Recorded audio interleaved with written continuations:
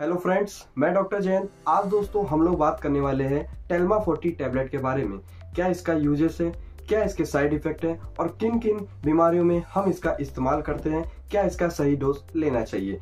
बात करेंगे हम लोग इस छोटी सी वीडियो में। वीडियो स्टार्ट करने से पहले दोस्तों, मैं आपसे अनुरोध करूँगा कि अगर आप इस चैनल पे नए हैं तो चैनल को सब्सक्राइब कीजिएगा, क्योंकि ये चैनल टोटली आपका मेडिकल और साइंटिफिक डेलीब्रेशन पे बेस्ड है। बात करें दोस्तों टेलमा 40 की, इसमें आपका टेलमी सर्टन का कॉम्बिनेशन प्रेजेंट होता है, जो कि 40 एम होता है। टेलमी सर्टन दोस्तों, आपकी एक तरीके की ए क्लास की दवा है। मतलब एंजियोटेंसिनोजन रिसेप्टर ब्लॉकर क्लास की दवा है। जो कि मेनली आपकी हार्ट रिलेटेड समस्याओं में इस्तेमाल किया जाता है। जैसे कि मैं बात करूँ, अगर किसी का बहुत ज़्यादा बीपी बढ़ा हुआ है तो डॉक्टर इसको प्रिस्क्राइब करते हैं कि हाइपरटेंशन को कम किया जा सके। इसके अलावा अगर किसी को किडनी खराब हो रही है डैमेज होना शुरू हो गई है। ग्रेड वन से ग्रेड थ्री में लाई कर रहा है। डायबिटिक नेफ्रोपैथी की वजह से उस केस में भी दोस्तों हम लोग ए क्लास की दवाइयों का इस्तेमाल करते हैं। इसके अलावा हम लोग सी इनिविटर भी हम लोग इस्तेमाल करते हैं। बात करें दोस्तों, ये जो आपकी टेलमी सर्टन 40 एम है, ये आपका जो है, आपकी हार्ट फेल्योर जैसी समस्या से बचाने में भी मददगार साबित होता है। क्योंकि आपका बीपी बढ़ा रहेगा तो आपको भविष्य में हार्ट अटैक और स्ट्रोक जैसी समस्या हो सकती है। इसलिए उसमें प्रिवेंट करने में ये बहुत ज़्यादा मददगार साबित होता है।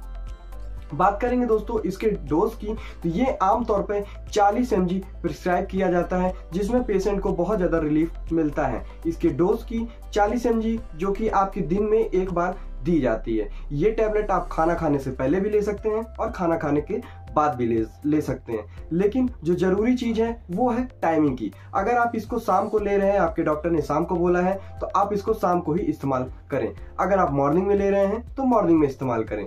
तो ऐसे आप इसका इस्तेमाल कर सकते हैं। इसके अलावा बात करेंगे साइड इफ़ेक्ट की, क्योंकि ये बीपी को कम कर रहा है तो शुरुआती दौर में ऐसा देखा जाता है कि जो मरीज़ टेलमी सर्टन चालीस एम का इस्तेमाल करते हैं, उनका कभी कभी बहुत ज़्यादा बीपी लो हो जाता है, जिसको हम लोग हाइपोटेंशन बोलते हैं। अब बीपी कम हो गया है तो इसकी वजह से लो बीपी के सिम्टम्स आना शुरू हो जाते हैं, जैसे चक्कर आना, आँखों के सामने धुलधुलापन महसूस होना।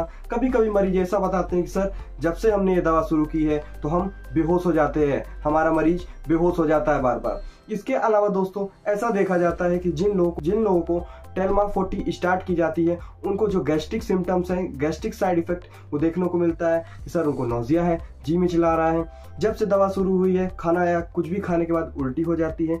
इसके अलावा किसी को खाना भी नहीं पचता, उनको डायरिया के भी लक्षण देखने को मिलते हैं। ऐसे जो साधारण सिम्टम्स है, लेकिन जो चक्कर आना, बेहोश होना, अगर ऐसे सिम्टम्स दोस्तों आपको दिख रहे हैं तो आपको अपने डॉक्टर को ज़रूर बताना चाहिए। तो बात की इस वीडियो में मैंने बात की टेलमा फोर्टी के यूजेस डोजेस की और साइड इफ़ेक्ट के बारे में। मिलते हैं अगली किसी वीडियो में, किसी और टैबलेट के बारे में। वीडियो अगर आपको अच्छा लगा हो तो वीडियो को लाइक कीजिएगा, नए हो तो चैनल को सब्सक्राइब कीजिएगा। Thank you for watching this video have a nice day